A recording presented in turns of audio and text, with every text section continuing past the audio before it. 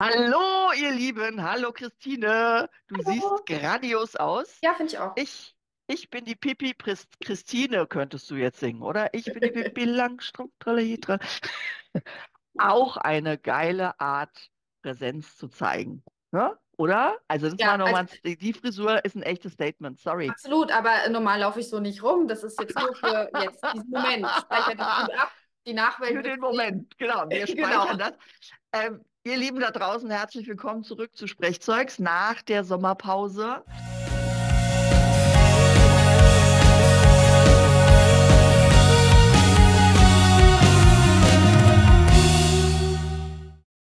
Wir haben wieder das gleiche Setting einigermaßen aufgebaut. Ähm, trotzdem hat sich ein bisschen was verändert.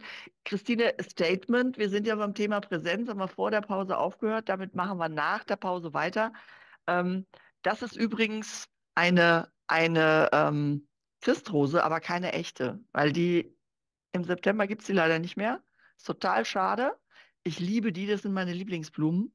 Aber die gibt es echt in einer sehr guten Art, in künstlich und die sehen super echt aus. Ich habe extra welche besorgt. Sup, ne? Die gehen dann so schön auf. Ähm, die brauchen wir vielleicht heute, vielleicht nachher nochmal. Mal gucken. Ich lasse einfach mal hier stehen. Ich finde die einfach schön. So, auch wenn ich sonst Plastikblumen nicht mag, aber die fand ich jetzt wirklich mal total nett. Statement. Gehen wir nochmal zurück. Wir hatten ja ähm, beim letzten Mal vor der Sommerpause dieses Hey, was euch hilft, dass die Haltung schon mal zeigt, hallo Welt, hier bin ich. Wenn da eine Klamotte unterstützend ist, wie, keine Ahnung, High Heels, bei mir wäre das nicht so, aber, ne? Oder wie ein bestimmter, bestimmte ähm, Farbe, bestimmtes T-Shirt, bestimmter Jackett oder was auch immer. Nur bitte darauf achten, dass er hier so den Oberkörper nicht zu sehr einengt. Also nicht das kleine Schwarze aus dem letzten Jahr, was ein bisschen eng geworden ist in der Taille, ne? Weil sonst müsstet ihr die Luft anhalten und den Knopf zumachen und dann. Was ich damit sagen will, bitte nicht die Luft wegnehmen. Lasst euch Raum zum Atmen, weil den braucht ihr für eure Stimme, aber den braucht ihr auch, um in einer guten Präsenz da zu sein. Nur gibt es natürlich noch andere Statements, wie jetzt zum Beispiel Christines lustige Schwänzchen hier rechts und links und Und There is no Planet B. ja, Absolut. Statement-T-Shirts. Ja? da habe ich einige Und, von. äh, äh, zeig mal, du hast doch noch ein paar mehr, oder? Ja, ich hatte mal von einer lieben Freundin ein tolles Shirt geschenkt bekommen. Oh Gott, wie süß. Ja, es ist mal. Dann könntest du, ne? Also ich habe tatsächlich mal drüber nachgedacht für meine Schwester. Die heißt ja mit Spitznamen Schnecki. Die kriegt von mir immer was mit Schnecken. Im Moment schreibe ich ihren Schneckenkrimi, den sie etappenweise kriegt. Ähm, Cool. aber ich habe tatsächlich mal dran gedacht. Ich habe ihr mal von der Grafikerin äh, eine Bergschnecke zeichnen lassen. Die habe ich ihr schon als Karten geschenkt. Ich habe kurz drüber nachgedacht, ihr ein T-Shirt zu machen mit Mhm. diesem Schneckenbild drauf und ähm, dann Geburtstagsschnecke drauf zu schreiben.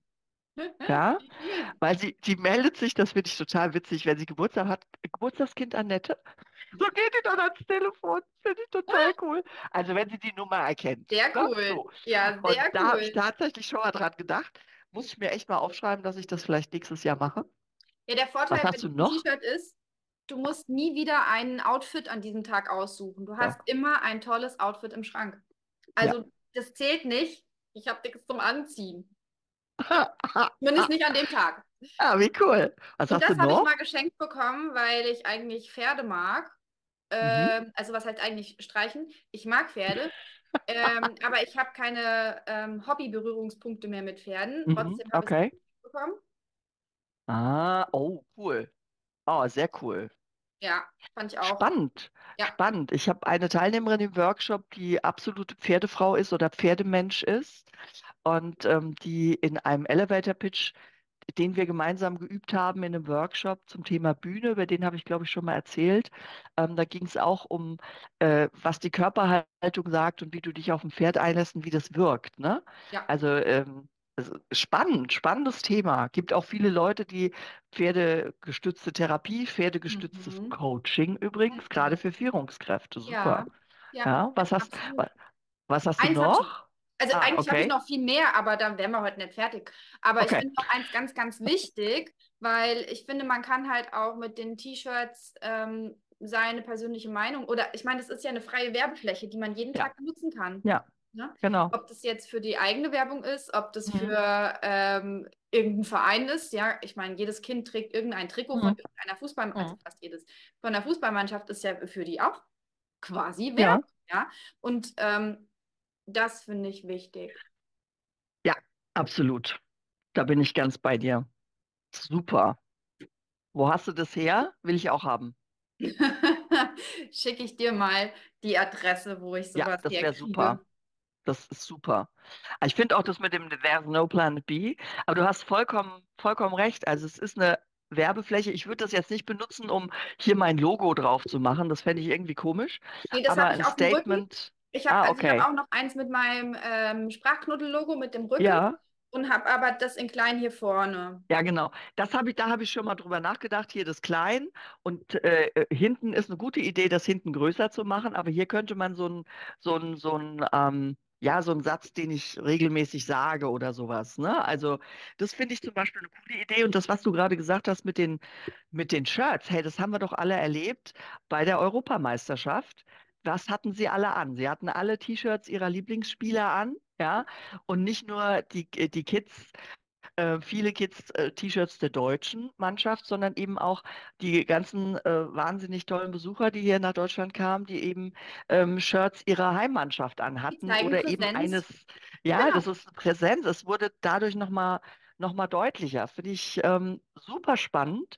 Und ich meine, ganz oft tragen wir ja Werbung, ohne dass wir es bewusst wollen, aber ähm, oft hast du eben hier, ähm, ob das das Signet von äh, Lacro äh, ähm, Lacoste, von Polo, von Gant, von ähm, Adidas, von Nike, von Puma und, und so weiter, ne? Hast du ganz oft oder an Schuhen, die Streifen zum Beispiel oder dieser, dieser äh, Nike-Bogen, ich weiß nicht, wie man den genau nennt, oder ist das Puma? Hm. Nee, nee, das Nee, ist ist Nike. Ja. Nike, okay. Aber es ist echt, es ist spannend, ne? Wir machen das automatisch und ähm, da äh, könnten wir es tatsächlich großartigerweise nutzen. Wer das super nutzt, muss mal mit meiner Band reden. Wir haben, wir haben ja Simply Impossible T-Shirts, ja, oder die eine, ich habe ein Mikrofon drauf, der eine ein, äh, Gitarre, Schlagzeug und so weiter mit unserem Bandnamen. Muss ich dran denken, dass ich das mal wieder rauskrame. Aber viele Bands nutzen ja auch T-Shirts als Merchandise-Artikel Ja, und haben da das Cover der letzten, des letzten Albums drauf. Und davon habe ich jetzt einige Shirts. Also ich hätte jetzt aus dem Schrank so ein bisschen was von Golden Earring oder AC/DC und so weiter in die, in die Kamera halten können. Ähm, aber äh, spannend, ne? Dass solche Statement-Geschichten, ich habe noch so ein Statement-Piece. Das ist ein. Regenschirm, ja, ein Regenschirm, ein Mondrian-Regenschirm. Da steht sogar drauf, wenn man es nicht weiß, aber ich wusste es. Habe ich mir gewünscht, habe ich von meinem Göttergatten ne, zu ähm, Weihnachten bekommen. Fand ich großartig, habe mich sehr, sehr gefreut. Und das ist natürlich auch so ein Statement. Ne? Also